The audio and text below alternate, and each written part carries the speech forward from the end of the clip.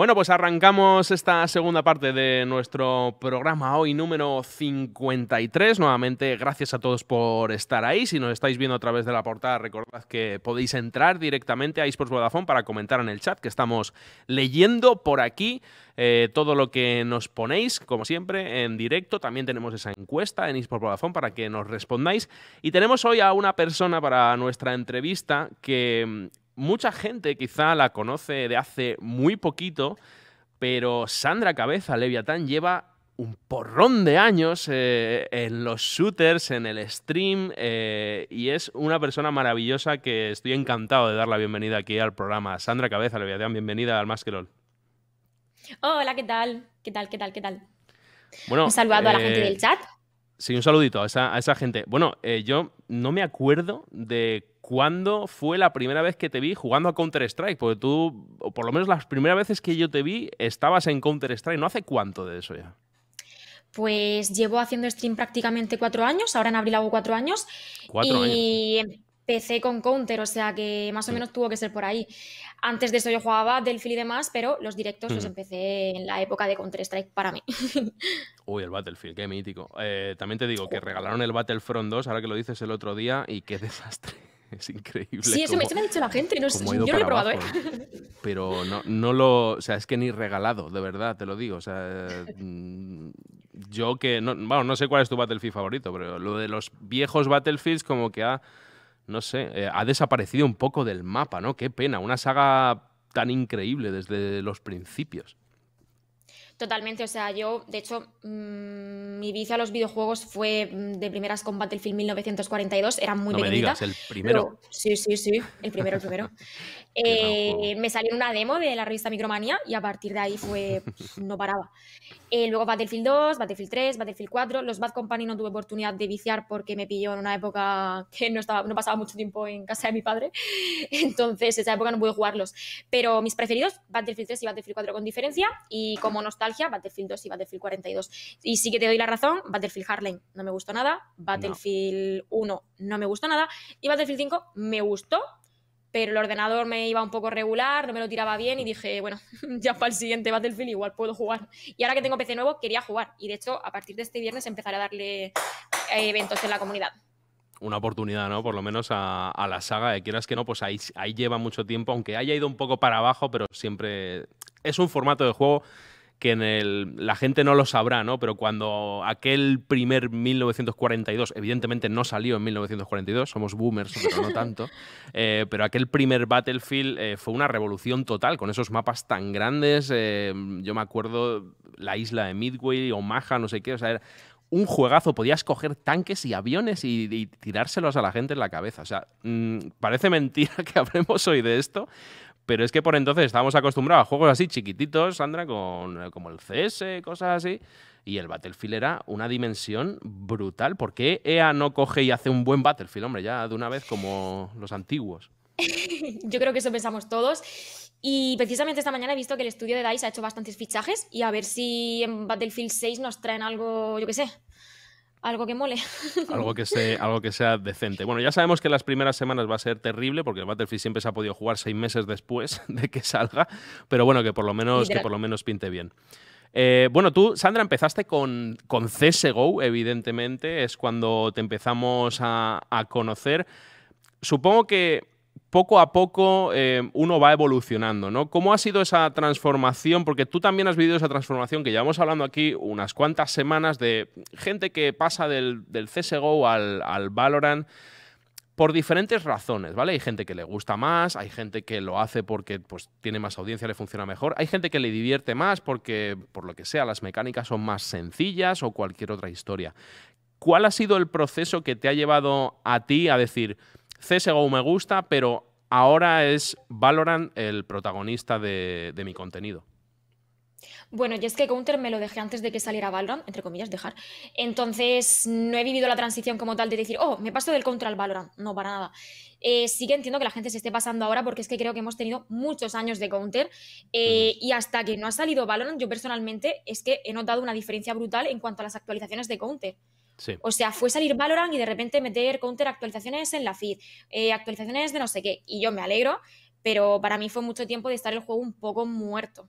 O sea, de ver que no mejoraban algunas cosas, de ver que el juego estaba lleno de chetos, de ver que la gente era súper tóxica, que bueno, eso Valorant no se salva, pero bueno, a ver si poco a poco también le van poniendo solución a eso, que ahora, según leí, eh, iban, a o sea, iban a, prohibir que la gente que estuviera baneada jugara Rankeds, lo cual me parece, vamos, un auténtico gozo. O sea, totalmente.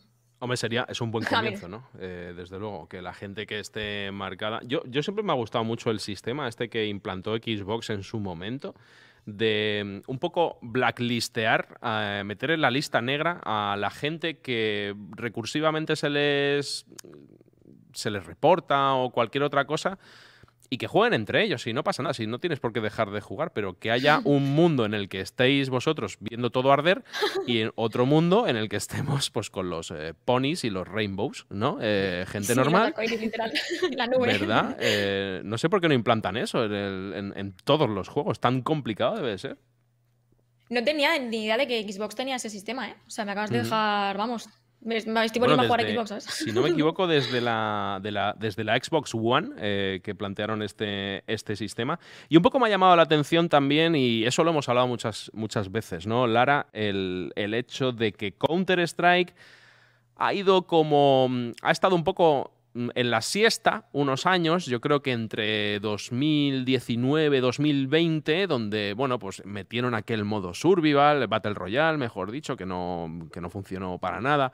Eh, hicieron algunos cambios y tal, pero sí que es verdad como que CSGO estaba abandonado y se han puesto las pilas cuando ha visto que la gente se iba al Valorant. Sí, sí, tal cual, ha, pasado, ha pasado eso, eh, tal cual. Sandra, por cierto, qué guay tenerte aquí. Enhorabuena por el fichajazo, que creo que te lo mereces un montón. Para mí fue un notición, ¿eh? Fue como, ¡ay! Me puse súper contenta. Pero, pero sí, efectivamente, al final, mm, creo que también el hecho de que el juego haya estado tantos años tan mal y todos estos problemas que Sandra también ha comentado ha hecho que muchos jugadores hayan ido abandonando poco a poco. Eh, a mí me ha pasado igual. Eh, yo llego a un punto, bueno, aparte de que soy muy mala y, cada vez jugaba menos porque cada vez soporto menos la frustración de ser tan mala, eh, pues al final lo, fui dejando por eso, por la cantidad de problemas que había y, el absoluto desapego que tenía Valve hacia, hacia el juego, ¿no? Entonces, al final cuando, cuando sale Valorant, que es verdad que todavía tiene muchas cosas que mejorar, pero por lo menos ves que está ahí Riot detrás, pues intentando que el producto esté cada vez mejor y preocupándose porque las cosas vayan adelante, pues es que me parece lógico eh, que al final haya muchos jugadores que vayan dejando counter de lado y sobre todo las nuevas generaciones. O sea, tú fíjate, los chavales y las chavalas que empiecen a jugar ahora y que se metan a competir a shooters ¿qué van a elegir? Eh, ¿Counter o, Valorant? ¿Sabes? Si antes no podías elegir, pues bueno, te metías a Counter, que era donde estaba la comunidad mayor y, donde, y que era un eSport muy fuerte.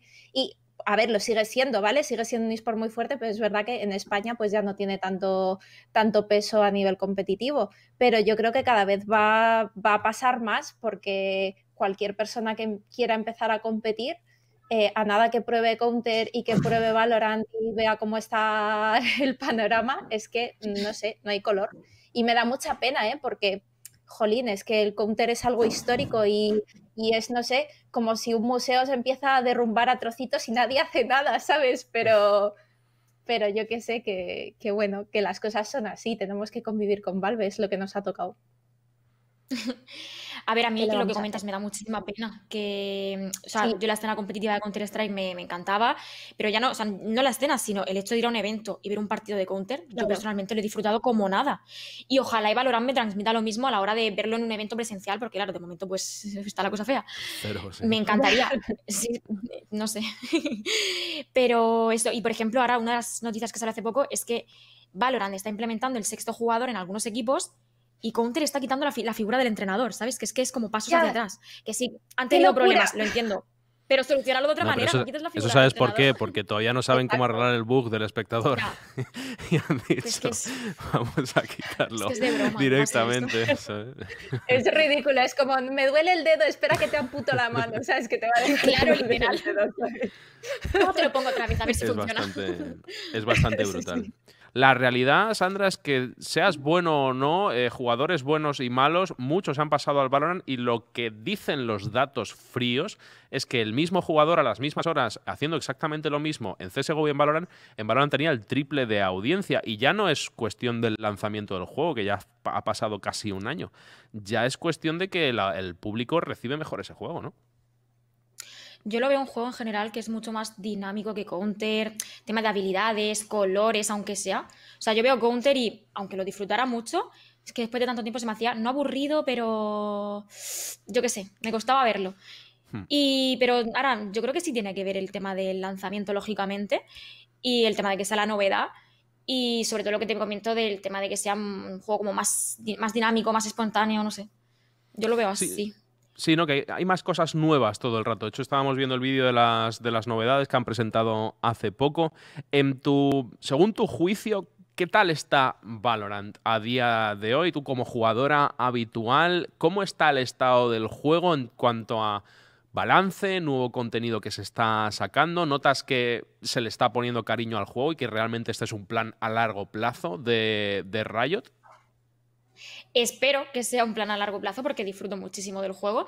Y en cuanto al tiempo en el que nos, están metiendo el contenido y tal, yo personalmente estoy contenta. Yo que me metan contenido, yo que sé, cada dos, tres meses, vamos, mm, me doy por súper contenta porque yo recuerdo que Battlefield, por ejemplo, Battlefield 5, salió con ocho mapas y no volvimos mm. a tener mapa, yo no sé hasta cuándo. nunca, o sea, yo recuerdo. Nunca. Sí, bueno, aparte. Pero yo recuerdo que es que yo, en el, antes de que saliera el juego de manera oficial, porque yo tuve acceso una semana antes por el Origin Access, no sé cuánto, eh, yo recuerdo que antes de que pasara una semana llevaba 100 horas. O sea, yo en esa primera semana ya estaba harta de los ocho mapas. Literal que estaba súper harta. ¿Qué pasa? Que el tiempo que pasó hasta que sacaron contenido pues se me hizo muy largo. ¿Qué pasa? Que valoran, pues ya sé que dentro de tres meses hay no sé qué, que nueva gente, que nuevo mapa. Entonces yo personalmente estoy contenta. Creo que lo están haciendo poquito a poquito, pero contenta, oye. Ah, el juego salió hace menos, bueno, hace un año justo. Te hace a ti la vida más fácil eso, ¿no? También de cara a ofrecerle cositas a tu gente. Sí, yo pienso siempre. Poder presentar, oye, mira, el personaje nuevo, no sé qué. Que a mí personalmente se me ha hecho súper complejo y he dicho, bueno, que lo juegue otro. ya, sí, no, no, es fácil, no es fácil. Es que pasa un poco con eso. Que, eso... Salen, sí. No, yo pienso que eso es una cosa que la gente que está en otros juegos, por ejemplo, que, no crea La gente que está en el LOL lo ve como algo normal, pero los que estamos en otros juegos, es algo muy importante que tiene el LOL que no tiene el resto, que es saber que tu juego va a seguir ahí el año que viene. Y eso, eso es algo que muchos videojuegos no tienen ese lujo. O sea, hay un montón de juegos que dices, no puedo planear nada a un año o dos años vista porque no sé si el año que viene el juego va a morir, si, la, si, lo, van si lo va a abandonar la desarrolladora, si va a sacar la segunda parte si van a abandonarlo a irse a otro producto. Y con Riot, por lo menos, tienes la garantía que te, te, y dicen, vale, este juego está aquí y va a estar aquí muchos años eh, y aquí tienes todo lo que va a ir saliendo. Y eso ayuda mucho también, porque en los juegos de pelea, por ejemplo, eso lo sufrimos un montón. O sea, tú tienes un juego ahora y dices, y estás constantemente pensando, el año que viene van a seguir, el año que viene van a seguir, y tienes ese miedo siempre, y eso con muchos juegos no pasa. Ya, es un poco el efecto Call of Duty, ¿no? Que dices, bueno, al final de este año no sé a qué voy a estar jugando. Eh, me lo van a cambiar entero, entero de arriba abajo, ¿no? Y es un poco, un poco esa es la ventaja. Y hablábamos, Lara, también de la parte competitiva de, Valorant, que también Valorant pues se está esforzando mucho. Eh, aunque incluso sin la posibilidad de hacer eventos presenciales, a pesar de que a principios de año, cuando sacaron el juego, dijeron que querían hacer algo presencial, también han dicho Mm, que, la competición principal de este año podría tener una final presencial, Lara, por lo menos también Rayo se lo está trabajando mucho aquí la parte, la parte competitiva de su juego.